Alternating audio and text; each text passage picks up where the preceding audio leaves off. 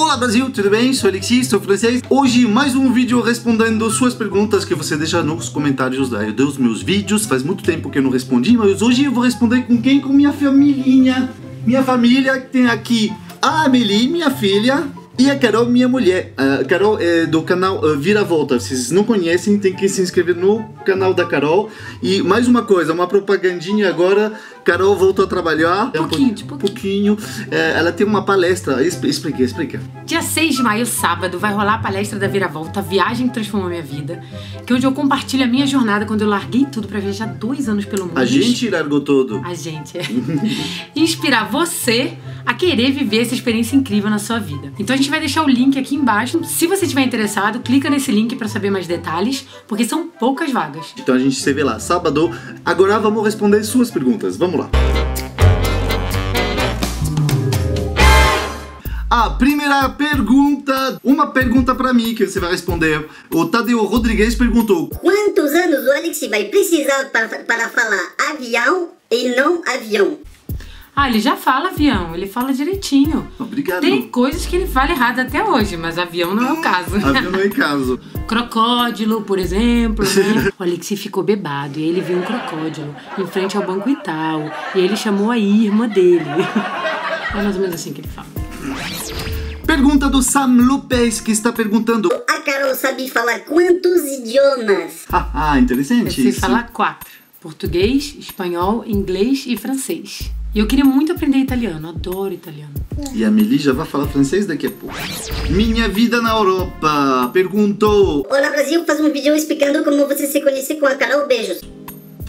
Bom, a gente faz um vídeo depois, Depois. eh, depois tá? Complicado. Tá. Pergunta da Vanessa Perez.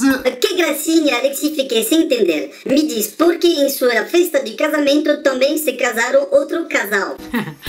Ah, a gente fez um casamento duplo com a minha irmã. Então eu e a minha irmã, nós casamos no mesmo dia. As duas entraram com meu pai, depois casou uma, depois casou outra e saiu todo mundo junto. Foi assim.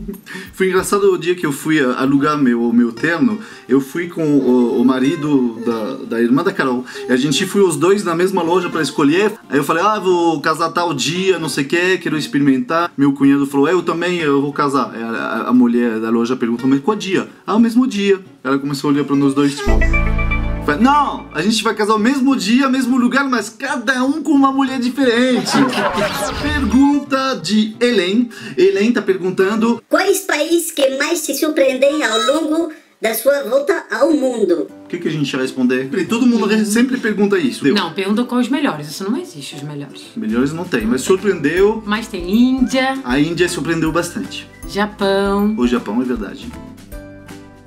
Namíbia, Namíbia, ah, no sul da África.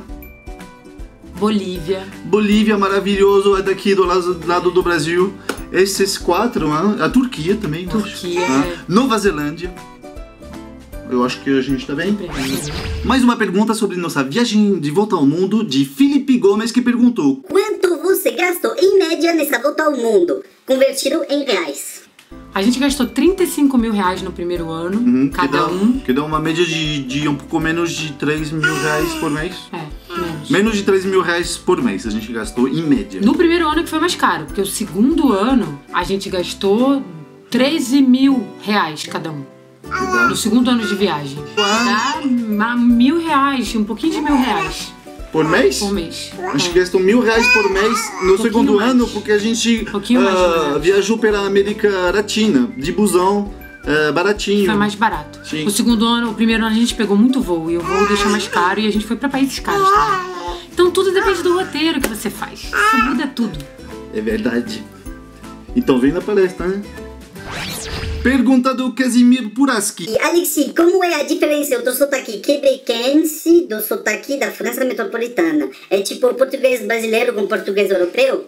Sim, o, o francês do Quebec, ele é bem diferente.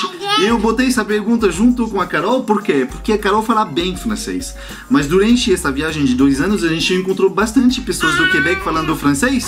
Só que Eu não entendo nada. Impossível. Olha, desculpa os quebecois, mas pra mim, as pessoas do Quebec acham que falam francês, mas não falam.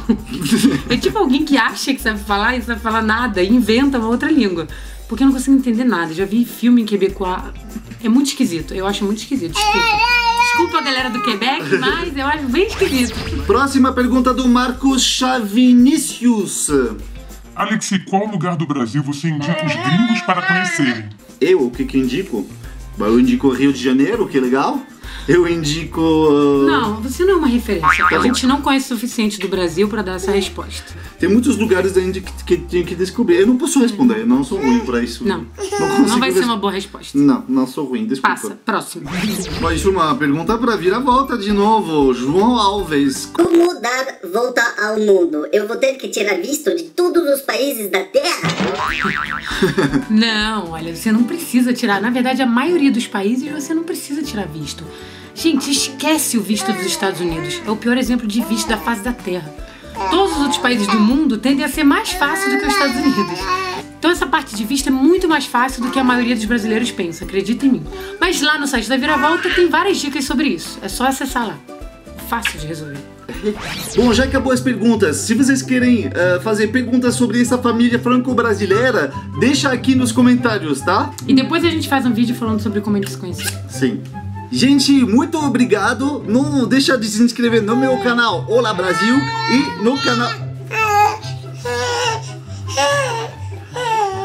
Se inscrever no meu canal Olá Brasil, também no meu Instagram, eh, Alexi Olá Brasil, Facebook Olá Brasil e também não deixar de se inscrever no canal Da Viravolta. Vira Volta Carol e a palestra sábado às 11h30 no Galeria 540 Pinheiro, São Paulo. Se inscrever lá na descrição. Muito obrigado. Tchau, Brasil!